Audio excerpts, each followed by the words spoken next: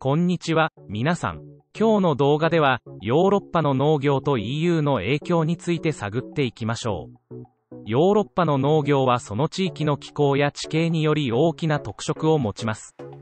北部の国々、例えばスカンジナビア諸国では、涼しい気候を活用した酪農が盛んです。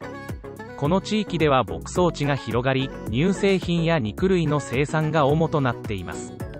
また西ヨーロッパの国々では穀物の生産が中心となります。ここでは主に麦やコーンが栽培されパンやビールの原料として利用されています。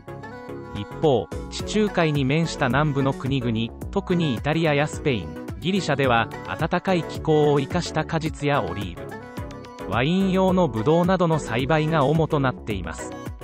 これらの地域では地中海型農業が展開されワインやオリーブオイル果物の生産で知られています。こうした中でヨーロッパを統合する EU が大きな影響を与えています。特に EU の農業政策はその一員となる各国の農業に深く関わっています。EU の農業政策の一つである共通農業政策 CAP は生産調整や価格支持。農業者の所得保障などを通じてヨーロッパ全体の農業経済を安定させることを目指しています。しかし CAP には問題点も指摘されています。補助金に依存する農業形態が固定化され競争力のない生産体制が続いたり環境負荷が高まるなどの課題があります。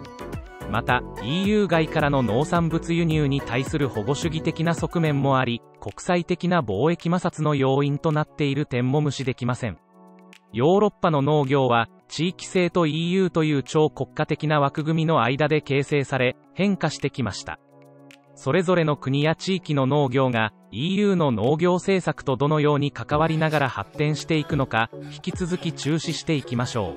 う。以上がヨーロッパの農業と EU の影響についての解説です。これがヨーロッパの農業の現状と課題について理解する一助となれば幸いです。それでは次回もお楽しみに。ありがとうございました。